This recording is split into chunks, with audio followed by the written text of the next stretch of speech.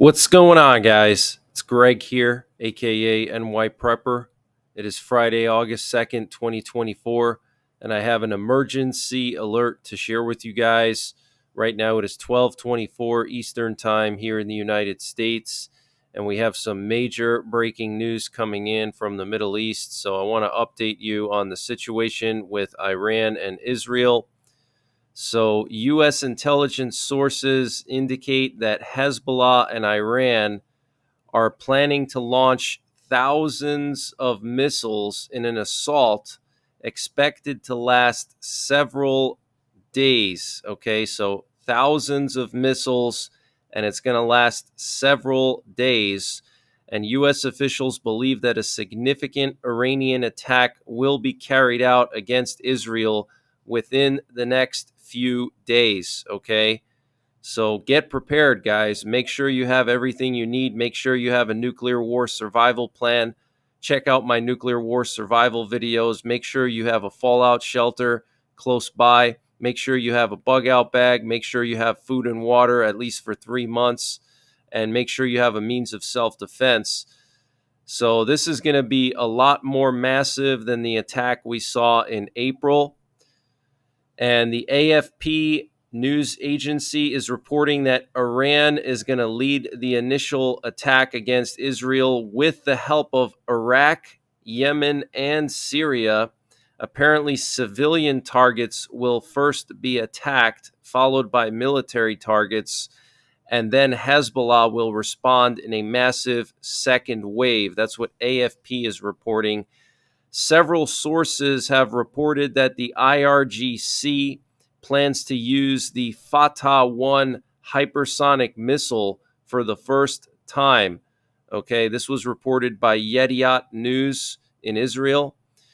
So, Iran planning to use potentially hypersonic missiles in this attack on Israel with thousands of missiles expected to last several days and the Israeli government has ordered all air, land, and sea troops to be ready for battle immediately. And Iran has officially informed the UN of its intent to carry out a retaliatory action of what they call self defense against Israel in accordance with Article 51 of the UN Charter. And apparently, this time, the Ayatollah Khamenei, the supreme leader of Iran, did not use the word punishment, but rather used an Islamic word meaning blood for blood when he spoke of settling accounts with Israel for the assassination of Haniyeh. Okay, and they did raise the red flag in Tehran. Okay, last time they raised a black flag. This time they raised a red flag. The red flag is the worst one. The red flag means that in their eyes, innocent blood was spilled, and they have to avenge the innocent blood that was spilled. Okay. One U.S. official predicts several difficult days ahead and says that the U.S. is taking steps to help the IDF intercept incoming threats.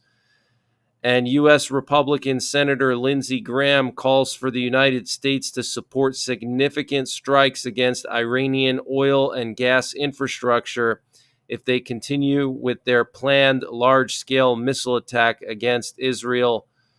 And Israel is reportedly considering the possibility of a preemptive strike on Nasrallah, the leader of Hezbollah, to basically take him out before Hezbollah responds with Iran.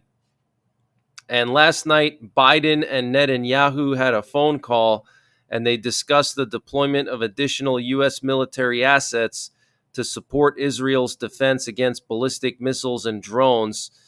So, looks like the U.S. is going to beef up their presence in the Middle East.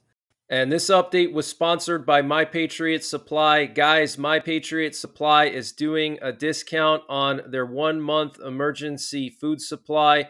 And to get the deal, you got to go to preparewithnyprepper.com, and the link is in the description below this video.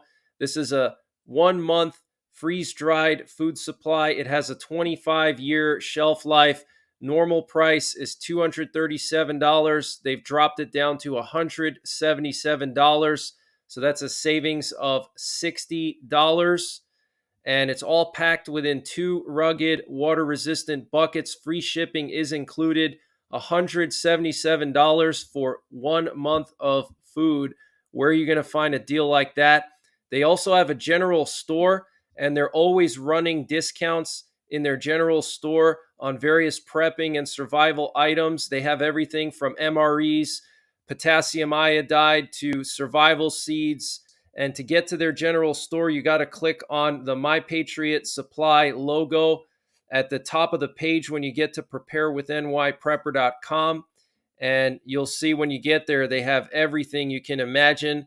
So use the link preparewithnyprepper.com to get $60 off the My Patriot Supply one month emergency food supply. That's $180 for one month of food, free shipping included. The link is in the description below this video. And also check out their general store. They have everything you can imagine prepping and survival related, and they're always running various discounts there. And ongoing assessments by U.S. defense officials believe that a potential Iranian retaliatory strike will be similar to their attack against Israel on April 13th, but with this attack being much larger and more complicated than before, including the possibility of a coordinated attack by Hezbollah and other Iran backed groups from multiple fronts. Officials are also deeply concerned that this attack could be simultaneous with widespread targeting of U.S. bases and troops in Syria, Iraq, and possibly other countries in the Middle East. Okay. So they're going to hit our bases too, guys. Okay. So this could be it. This could be the beginning of World War III. Okay. It's not going to stop. It's only going to get worse. I feel like this is deja vu. Okay. Just a few months ago, we were in the same situation and then we had culinary night okay? But this time instead of two or three hundred iranian missiles we're talking about thousands of missiles from multiple areas from lebanon from iran the iranian proxies and also the houthis plus drones hypersonics.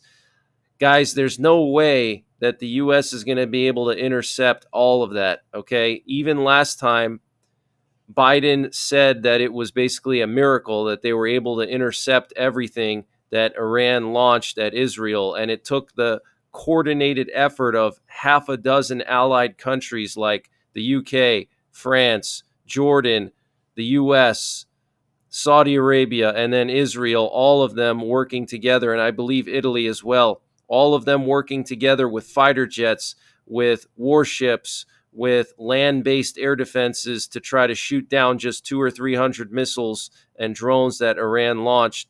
Now multiply that times three or four or five, okay? A thousand, two thousand, three thousand. There's just no way that they're going to be able to intercept all of that, okay? And the problem is with our administration is we're just sitting around and waiting for Iran to strike, okay? That is the stupidest thing. We have an opportunity now to strike Iran and strike Hezbollah and strike all the proxies, but instead we're just sitting around and waiting for Iran to attack God's chosen people, God's chosen land, okay? We're just sitting around and doing nothing about it when we have the resources and the experience to eliminate the Ayatollah Khamenei and eliminate all his military capabilities. We have an opportunity to do it now, and we're not doing it. We're just sitting around waiting for Iran and its proxies to launch thousands of missiles at Israel. This is ridiculous, guys. This is absolutely despicable, okay, that our government is just sitting around and waiting for this to happen. And on top of that, probably uh, telling Netanyahu not to respond too strongly afterwards. I mean, it's just despicable, guys. Okay, God is not happy. I can tell you that. And high ranking ministers in Israel have been rushed into underground bunkers. This was last night. And regular members of the parliament who do not get evacuated to bunkers were given satellite phones in the event of communications failures. And apparently, today, emergency satellite phones were distributed to all Israeli ministers. Okay. So, continuity of government plans are in place in Israel. And there's more flight cancellations. We have Air India canceling all flights to Israel until the 8th of August. And Italian Airlines suspended all flights to Israel. Okay and the British military will deploy forces to Israel to support the coalition defending Israel at the request of the U.S. So the UK sending more forces there. Egypt has announced the closure of its airspace and is threatening that any plane that tries to enter its territory without permission will be intercepted on the spot. Okay, so Egypt is basically siding with Iran or at least playing neutral because Iran threatened any country that is going to help Israel with any possible counterattack or any possible uh, intercepting activities like flying fighter jets over their airspace to shoot down missiles. Iran is threatening to attack them. Okay. So it's possible that Iran could launch missiles at Jordan, at Saudi Arabia, you know, any country that helps Israel in intercepting these missiles.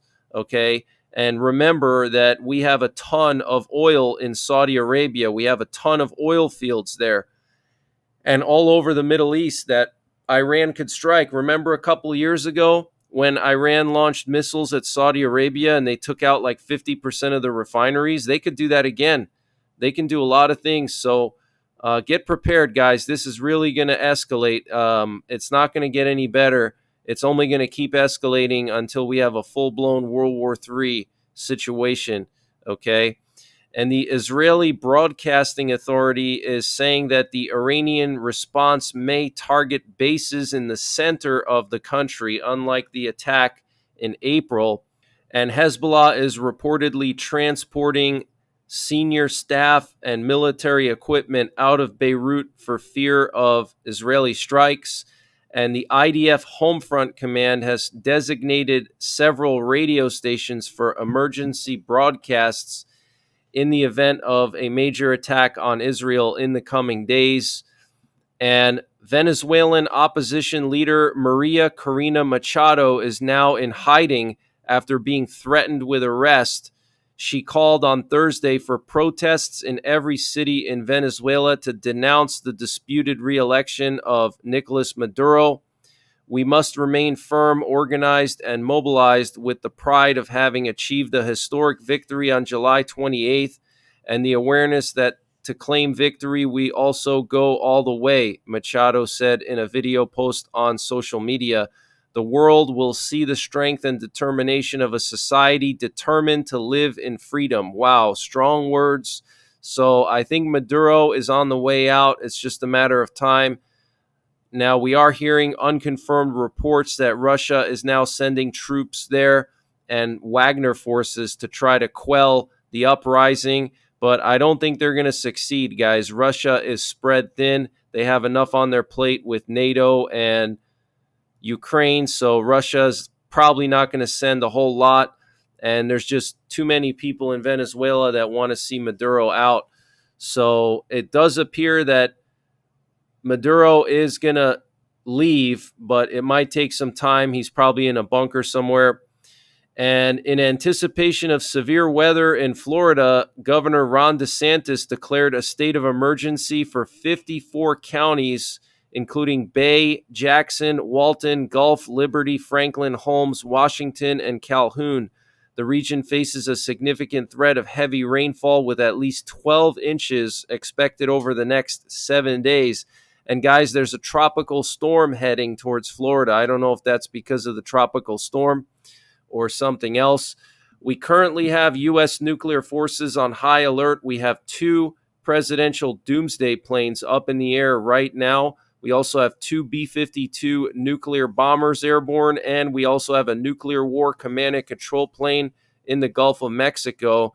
And those planes are responsible for remotely launching all of our Minuteman III ICBMs, and they can also communicate with our submerged nuclear armed submarines. But here you can see one doomsday plane over Missouri and Kansas, and one over Kentucky. To see two doomsday planes in the air is very unusual. And one of them took off from Texas earlier this morning and went all the way to Virginia, did a couple loops over West Virginia. So this thing is just loitering, guys. Okay, it is on high alert. That's called the National Airborne Operations Center. That's where the president, the vice president, and the top generals can command the entire U.S. military from the air, including our nuclear arsenal. We also have another one that took off from STRATCOM, and it's currently meeting aerial refuelers over Missouri, guys. Okay, so when these things refuel over air, that means that they're planning to stay up in the air for a very long time. You see, it took off, and then as soon as it took off, it's getting aerially refueled. All right, so this thing is going to be up in the air for a while, but this definitely means that our nuclear forces are ready for a worst case scenario. And yesterday we had data being transmitted over the primary nuclear war frequency in the United States. They were transmitting encrypted data all day yesterday. Let me just play a sample of that for you. It, you can't really hear anything because it's just you know encrypted. So unless you have the encryption, the decryption algorithm, you're not going to be able to do anything with this. But you can hear this like static noise, like a fuzz noise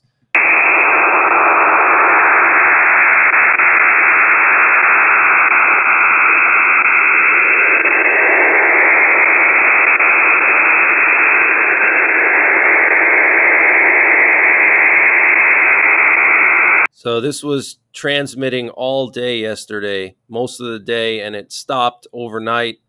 And that's clearly a sign that our nuclear forces are preparing for a worst case scenario. And I will be monitoring the nuclear forces over the weekend, the next couple of days. I will be on maximum alert. Okay. I do have a radio consultant on standby so if things get crazy, he can help us understand what's going on from the radio side of things. Okay, so I will be consulting with him over the next couple of days. And if anything unusual happens, you'll be the first to know. So make sure you're subscribed, make sure you're getting notifications. Also, follow me on Telegram and Twitter. The links to my Telegram and Twitter are in the description below this video. But I will be going live 24 7 again starting tonight. I'm going to restart the 24 7 streams. And again, if anything happens, I will be live, okay? Because this is a historic situation in a bad way.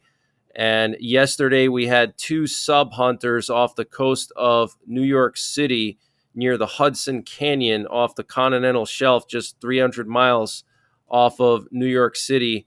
Two sub hunters flying super low. And to me, this is a sign that there's Russian subs off of our coastline somewhere. They've been hunting for them the last week like crazy. And this morning, look what we have here. We have three sub hunters off the coast of South Carolina. There were two of them doing search grids right off the continental shelf off of South Carolina, probably about 200 miles off of South Carolina. They were doing this search grid here. Okay. And then a third one just got deployed from Jacksonville heading to this area right now. Okay, so potentially a sub off of South Carolina. Guys, remember, Russia has the Poseidon torpedoes. Those are the torpedoes that can carry 100 megaton warheads. Is it possible that Russia put them in position, maybe one off of South Carolina and then one off of New York City? So if things get crazy with Iran, then they're going to launch those Poseidon torpedoes into New York Harbor and just annihilate all of New York City, or maybe send one into Kings Bay, Georgia, where we have several of our Ohio class subs and annihilate them all. It's very possible, guys. Okay. So get prepared. And then we had this E 2 Hawkeye flying off the coast of North Carolina. This is also a sub hunter plane flying very low. It was flying as low as just a thousand feet here. Okay, this was late last night. More sub hunters off of Florida yesterday. Here we have actually two of them that were uh, up in the air here off the east coast of Florida. And then more reconnaissance over Poland last night. Here we have Forte 15, an RQ 4 Global Hawk reconnaissance drone patrolling the Polish Russian border. At the same time, there was a British RC 135 Rivet Joint reconnaissance plane patrolling off the coast of Kaliningrad and on the border of Russia and Lithuania. And then there was also a British sub hunter off the coast of Kaliningrad. Okay, so you see where all the focus is by NATO. It's in this area here. Okay, northern Poland, the Baltics. That's where NATO is focusing all their efforts right now. And Poland just announced that they're going to move 17,000 troops into the northeastern part of Poland and an extra mechanized brigade. Okay, so they're not doing that for no reason, guys. Okay, and Russia is in the third phase of their tactical nuclear war exercises right now. So, you know, it could all pop off at the same time. Okay, Russia could attack Lithuania, and Iran is going to attack Israel, and then maybe China will attack Taiwan, although we haven't heard from Xi Jinping in almost a month now, so I would say that that's probably not going to happen for a little while. Uh, it does appear that Xi Jinping may be in a coma, and this was first reported by Jennifer Zeng. She's a Chinese activist journalist. She reported about a month ago that Xi Jinping had a severe stroke right before the third session of the Communist Party in China, and he was not able to preside over it. And instead, his buddy Cai Qi presided over the session. So, for all we know, Xi Jinping could have a coma right now. But that's the latest breaking news that I have. I will be back later on tonight with more breaking news, and I will restart the 24 7 streams this evening. So, until later on, take care, God bless, and don't forget the three P's prepare, practice, and persevere. Culinary out.